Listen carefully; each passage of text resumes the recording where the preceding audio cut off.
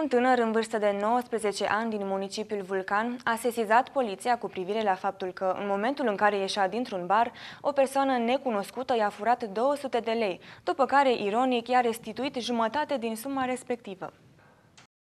Un individ în stare de ebrietate i-ar fi sustras tânărului din mână suma de 200 de lei, după care i-a dat înapoi 100 de lei. După acest moment, suspectul a plecat spre piața agroalimentară. În urma sesizării tânărului, polițiștii au efectuat cercetări și l-au identificat imediat pe prezumtivul autor al infracțiunii de tâlhărie. Este vorba despre un bărbat în vârstă de 34 de ani, tot din Vulcan, pe numele căruia instanța de judecată a emis mandat de arestare preventivă pentru o perioadă de 30 de zile. Scrie servuspres.ro. Polițiștii fac și câteva recomandări pentru a nu deveni victimele unor astfel de indivizi. Astfel că polițiștii vă recomandă să evitați să circulați singuri la ore târzii, prin locuri neiluminate și puțin frecventate, să nu purtați în mod ostentativ bijuterii sau alte bunuri de valoare și să evitați pe cât posibil compania unor persoane aflate sub influența alcoolului.